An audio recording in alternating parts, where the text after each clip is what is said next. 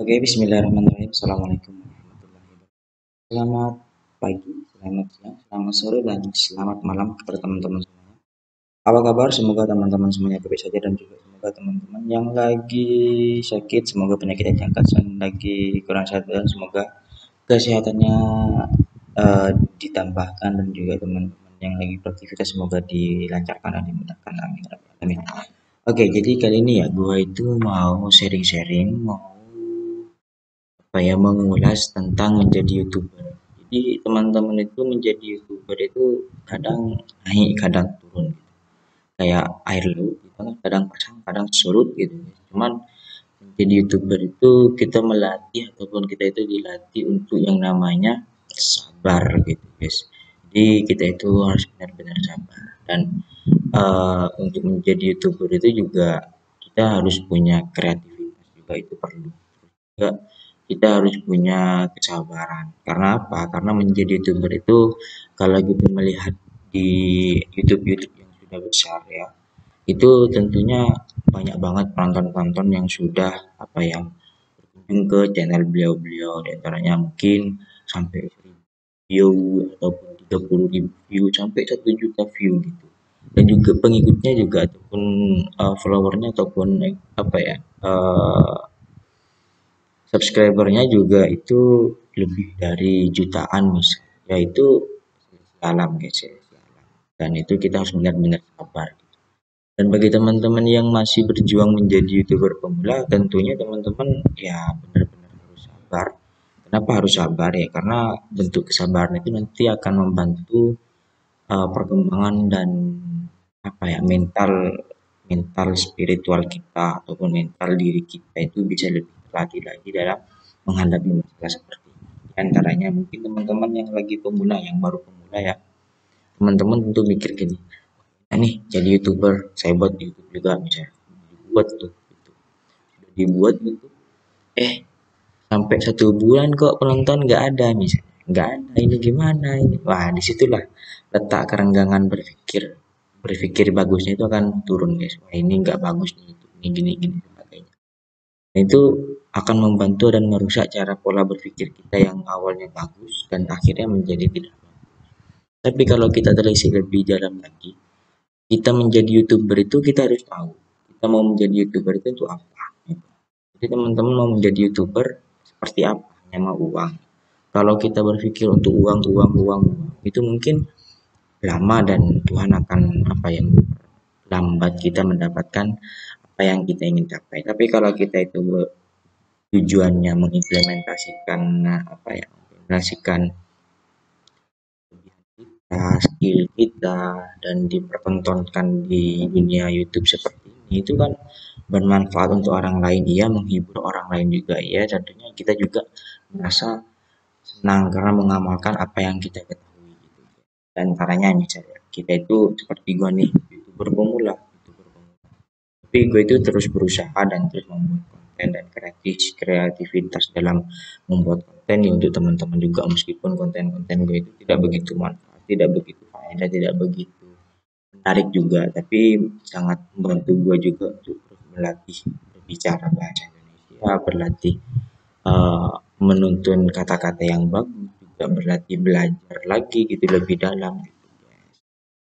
Dan kali ini gue itu mau memberikan informasi kalau gue juga kan pemula tuh pemula tentunya gue berpikir juga. Kadang ketika malam hari gue itu berpikir masa setiap channel gue harus nonton ataupun gue pakai minta bantu sama keluarga gue gitu gak ada yang nonton lagi. Gue juga mikir yang menyesal tapi gimana lagi? Udah hajar aja. Maksudnya gini sudah kadung basah sudah kadung basah udah. Sekalian gitu. Kita basahnya nyambung jadi kita itu mandi sekalian biar dapat ilmunya. Dan hasilnya benar-benar dapat gitu guys. Dan hasil seperti ini gua dapat banget uh, cara berpikir gua cara cara-cara yang gua alami ini sangat apa ya uh, gua kuasai gitu guys. Meskipun gua juga baru tentunya banyak kesalahan. Dan mengharap ada teguran juga ada apa komentar dari teman-teman. Mungkin saya salah bisa ditegur gitu di kolom komentar. Dan gue juga nggak pernah pamer ataupun nggak pernah sombong sebagainya nggak karena gue juga pemula tentunya. Penonton gue masih di bawah banget masih di bawah banget. Di antaranya antara guys ini kita refresh dulu. Jadi gue itu berpikir juga ini kalau gue harus menonton gimana? Apakah masa ke depan nanti channel gue itu akan berkembang atau gimana? Gitu. Kalau nggak gue usahain dari sekarang tentunya channel gue agak bakal berkembang tapi karena gue punya niat bagus untuk mengimplementasikan cara gue ya di samping gue menggunakan cara ini siapa tahu bisa membantu channel gue lebih berkembang dengan gue itu mencari ide-ide tersebut dengan cara mencari uh, kreativitas-kreativitas yang bisa membangun channel gue gitu. Ya gue itu uh, mencari ide-ide tersebut dengan cara versi gue gitu. Dengan berdasarkan uh, panduan-panduan uh, YouTube YouTube yang lain. Antaranya mungkin dari Bang Isan Tutor dan sebagainya. Bang Simon Nadioso juga itu sudah bagus banget. Dan itu apa ya yang beliau-beliau semua berikan itu uh, baru dasar-dasar kayak bahasa itu mengantar mukadimahnya saja yang diberikan kepada kita. Jadi bagaimana cara kita itu bisa mengimplementasikan dari hal-hal tersebut? Dan terkait jam yang tentunya tidak bakal dikasih rahasianya cuman memberikan dasar-dasar saja misal seperti ini seperti itu sebagainya Nah ini contoh channel gua. Hanya lima orang guys ya. Ini baru kemarin gua upload orang. Gak, gak ada sampai yang 100 mungkin hanya satu dua tiga yang sampai 100 view gitu kan. Adanya sampai 100 walaupun nggak bakal banyak-banyak juga gitu guys. Uh, apa ya channel-channel gue itu dengan orang lain tidak terlalu banyak juga. Karena gue juga baru. Tentu gue itu sadar juga baru tentu banyak sekali kekurangan di channel gue dan kemungkinan besar tidak menarik banget ke orang lain dan siapa tahu juga masih banyak kekurangan dan orang lain tidak begitu ini channel nggak jelas ya kan begitu. Jadi ini agak error ya guys ya. Kalau teman-teman mengalami seperti ini jangan bisa jangan takut. Ini kita refresh aja. Jadi itu guys jadi kita sebagai youtuber pemula itu agak bingung gitu apakah ini akan kita lanjutkan atau kita mundur gitu karena gue juga bingung ini menjadi youtuber ini ternyata tidak semudah membalikan telapak hidung gitu. Kalau kita membalikan telapak tangan itu kan lebih mudah gitu. Tapi kalau kita mau memainkan dunia YouTube seperti ini butuh perjuangan keras. Butuh yang memang kuat butuh pemikiran yang sangat matang butuh keterampilan sabar yang penuh.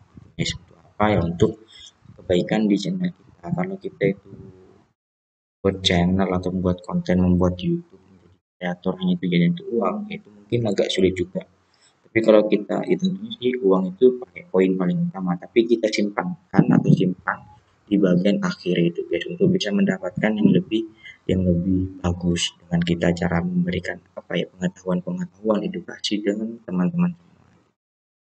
Jadi seperti itu guys ya semoga aja sih bisa manfaat teman-teman semua serta teman-teman juga bisa menerima apa yang rasakan. Pokoknya kita menjadi youtuber itu poinnya sebenarnya cuma satu sabar. Sabar terus kita harus komitmen konsisten aja ya.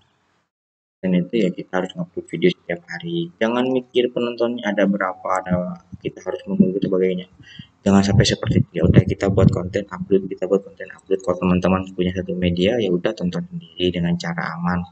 Bisa pakai VPN dan sebagainya. Agar apa? Agar channel kita juga lebih aman lebih lebih tidak terdetek spam yes. Jadi itu aja mungkin ya. Semoga aja teman-teman bisa memahami dan memaklumi apa yang gua rasakan. Dan semoga teman-teman juga bisa termotivasi untuk selalu membuat konten.